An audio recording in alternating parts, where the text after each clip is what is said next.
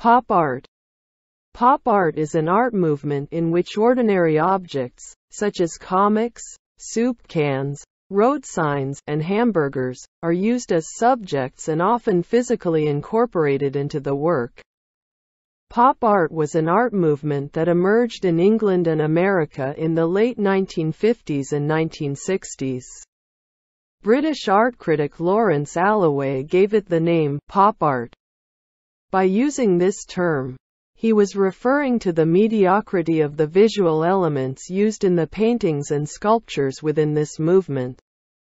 The distinctive feature of pop art artists is that they paint indiscriminately all aspects of popular culture that have a strong influence on contemporary life.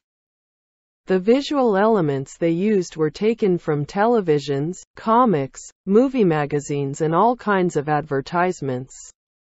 These visual elements were presented precisely and objectively, with great directness without any praise or blame, and using commercial techniques used by the media from which they were borrowed.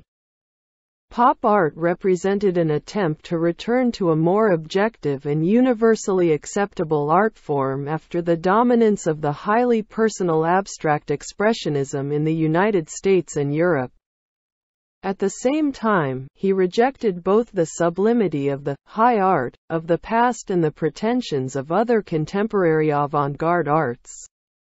Pop art has become a cultural phenomenon because it closely reflects a certain social situation and its easily understandable images are immediately used by the mass media. Although critics of pop art described it as vulgar, sensational, unesthetic and a joke, its adherents saw it as a democratic and non-discriminatory art, bringing together experts and uneducated audiences.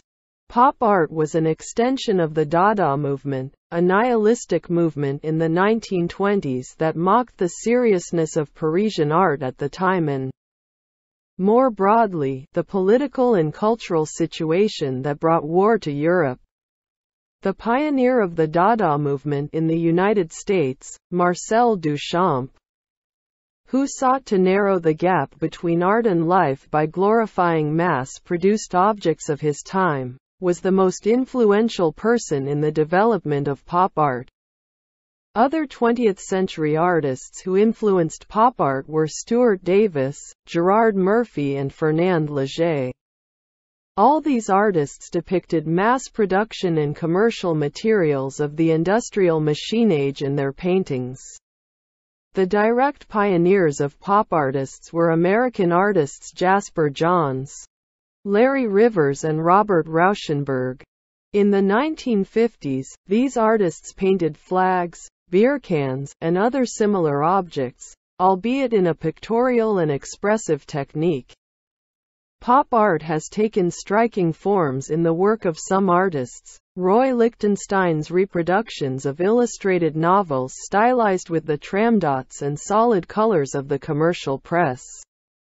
Andy Warhol's careful one-to-one -one illustrations and screen prints of soup box labels, soap cartons and soda bottles, object sculptures such as bathroom accessories, typewriters and giant hamburgers made by Claes Oldenburg using soft plastic.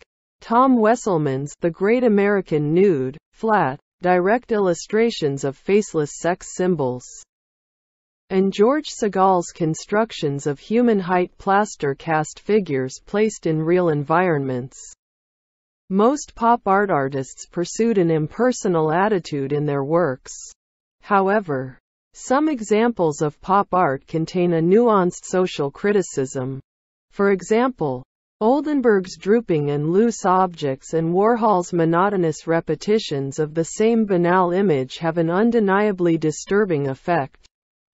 And some examples of pop art, like Segal's mysterious and somber works, are overtly expressive.